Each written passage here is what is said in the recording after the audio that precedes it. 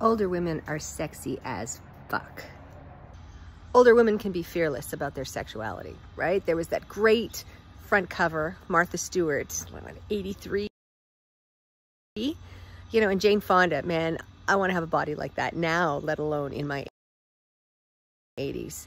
I did this uh, interview before the Martha Stewart cover in Zoomer magazine and talked about how we down older women, even though we've got great cleavage. Oh, check out my beehive. That's my bees. Uh, but I think the idea is, you know, there's this neat article about women posing.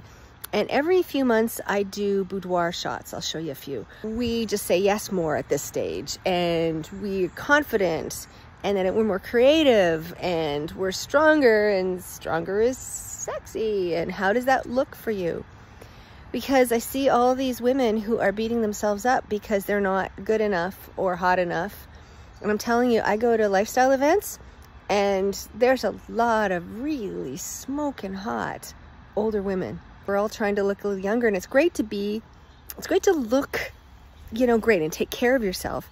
But it's not about that. It's about realizing you and you and you come over here and service me and it's okay. And to just sit with that and that you're not too old to swing. And I've had that question again and again and again. I just did not I've got an interview coming up on my podcast turned on. If you can check it out, that would be awesome.